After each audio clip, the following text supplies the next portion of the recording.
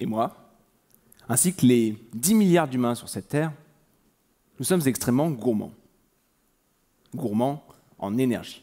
Si vous regardez autour de vous, vous verrez des caméras, des micros, des lumières. Nous avons tous des télévisions, des téléphones, des ordinateurs portables. Aujourd'hui, vous êtes peut-être venus en voiture ou en tram. Et certains d'entre vous sont en train de regarder ce talk en vidéo sur Internet en ultra haute définition. Tout ça consomme énormément d'énergie. Problème.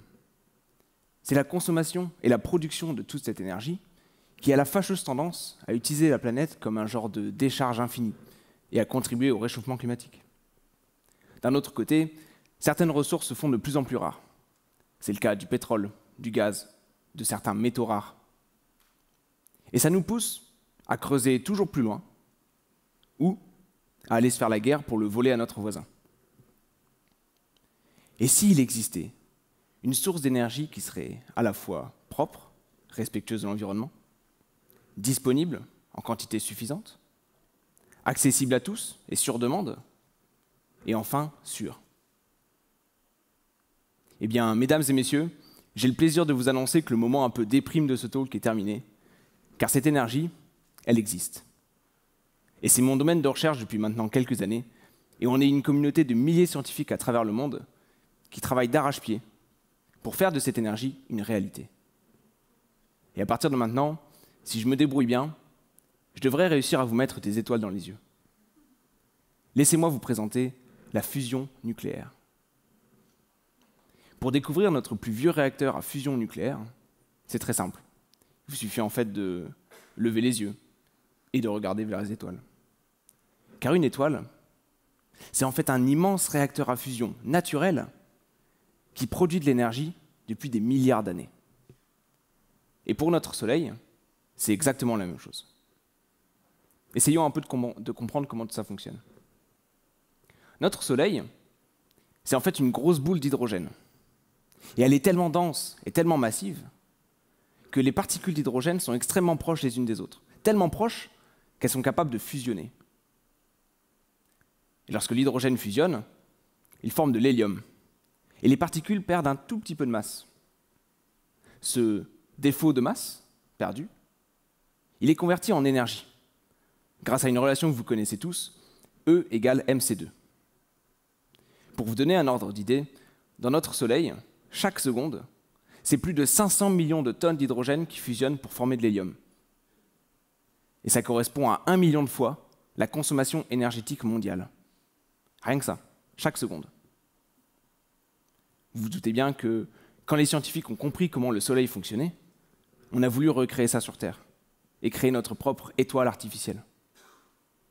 Si l'humanité arrivait à domestiquer la fusion nucléaire, on aurait accès à une énergie aux avantages extraordinaires. Pour commencer, la réaction de fusion ne rejette aucun gaz à effet de serre, ni de déchets radioactifs. Je vous l'ai dit, le seul produit de la réaction, c'est de l'hélium. Vous savez, c'est ce que vous mettez dans les ballons pour les goûters d'anniversaire de vos enfants. Et c'est ce que moi j'avalais quand j'étais au collège pour avoir la voix super aiguë. Bon, franchement, on a vu plus dangereux. D'un autre côté, la fusion est intrinsèquement sûre, parce qu'il n'y a pas de réaction en chaîne en jeu. Donc vous n'avez pas de risque d'un emballement du réacteur ou d'une entrée en fusion de la machine. D'ailleurs, dès que les conditions ne sont pas exactement parfaites, tout s'arrête. Et le réacteur se refroidit en quelques secondes. C'est plutôt embêtant pour nous, les scientifiques, qui essayons de faire fonctionner tout ça. Mais le vrai avantage de la fusion, c'est l'abondance du combustible. Sur Terre, on va avoir besoin d'hydrogène, mais un hydrogène légèrement différent que celui qui est utilisé par le Soleil. On va utiliser du deutérium et du tritium. Ce sont des variantes de l'hydrogène, ce qu'on appelle des isotopes. Le deutérium, on peut l'extraire assez facilement à partir de l'eau de mer. Le tritium, lui, c'est un petit peu plus compliqué, car il n'existe pas à l'état naturel. On va donc devoir le fabriquer. Et on va le fabriquer à partir de lithium. Et on est assez chanceux, parce que le lithium, c'est le métal le plus abondant sur Terre. C'est pour ces deux raisons que la fusion a besoin de très peu de combustible pour produire des quantités incroyables d'énergie. Pour vous donner un ordre d'idée, si on faisait fusionner l'hydrogène contenu dans cette bouteille d'eau, on aurait l'équivalent énergétique de 4000 tonnes de charbon. Alors, 4000 tonnes de charbon, vous prenez 4 piscines olympiques et vous les remplissez de charbon.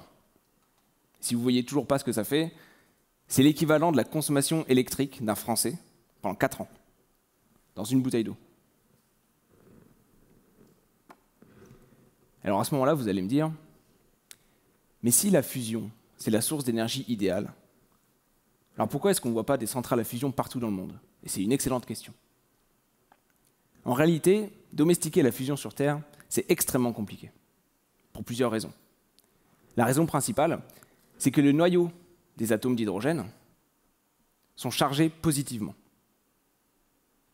Et donc quand ils se rapprochent, c'est comme quand vous étiez enfant et que vous essayez de faire coller des aimants entre eux, ils vont se repousser.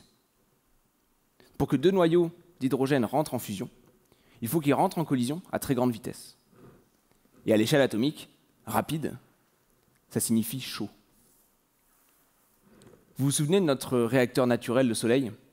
Alors lui, il triche un peu, parce qu'il est tellement dense et tellement massif que les particules d'hydrogène sont déjà assez proches les unes des autres, et donc elles peuvent fusionner facilement. Sur Terre, vous vous doutez bien qu'on ne va pas réussir à être aussi dense et aussi massif que le Soleil. Donc on va compenser. Et on va compenser par une température plus élevée. Vous m'avez bien entendu, une température plus élevée que le Soleil. Alors ça, c'est un truc que vous pourrez ressortir à votre prochain euh, repas de famille, et vous pourrez briller en société. C'est que l'endroit le plus chaud du système solaire, ce n'est pas du tout le Soleil. C'est un réacteur à fusion. Dans un réacteur à fusion, on doit atteindre les températures de 150 millions de degrés, à peu près. Hein. Alors vous allez me dire, ok Rémi, comment est-ce que tu fais pour construire une machine qui résiste à 150 millions de degrés? Et encore une fois, c'est une excellente question, vous êtes vraiment un public incroyable. Ma femme est maîtresse d'école, et elle apprend à ses élèves qu'il y a trois états de la matière. Solide, liquide et gazeux. Et je suis persuadé qu'on vous a appris exactement la même chose. Eh bien, j'ai l'immense regret de vous annoncer qu'en fait, on vous a menti. Parce qu'il y en a un quatrième. C'est l'état de plasma. Alors avec ça, et l'endroit le plus chaud du système solaire, croyez-moi, vous allez faire un carton. On atteint l'état de plasma quand on chauffe à gaz à très haute température.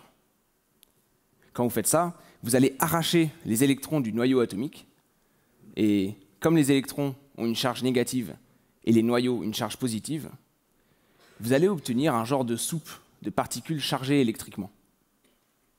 L'idée, ça va donc d'être d'utiliser des aimants extrêmement puissants pour créer une cage magnétique autour de ce plasma très chaud. On va réussir à le comprimer et à le garder dans cette cage magnétique de sorte à ce qu'il ne touche pas les parois du réacteur. On obtient un genre de donut, comme ceci. Vous voyez les, aimants en bleu et en gris, et le plasma extrêmement chaud en rose. Cette euh, géométrie, ce donut, ça a un nom. On appelle ça un tokamak. Alors tokamak, c'est un nom un peu barbare. C'est un acronyme russe qui veut dire ceci. Et alors comptez pas sur moi pour essayer de le prononcer, j'ai pas envie de me ridiculiser. Mais en français, ça veut simplement dire chambre toroïdale avec des bobines magnétiques. Alors c'est peut-être pas plus clair, mais toroïdale, c'est le nom un peu scientifique pour dire en forme de donut. Des tokamaks, dans le monde, on en a déjà construit. Le plus gros tokamak aujourd'hui en fonctionnement, c'est le tokamak européen, JET, au Royaume-Uni. Et pour vous donner un ordre d'idée de la taille, ça c'est une photo de moi qui a été prise quand je travaillais là-bas. Alors je suis pas très grand, mais ça vous donne une idée quand même de la taille de la machine. Tous ces tokamaks aujourd'hui en fonctionnement, ils ont un problème. C'est qu'ils consomment plus d'énergie pour fonctionner qu'ils en produisent. Alors ça, c'est franchement pas idéal pour faire un générateur d'électricité.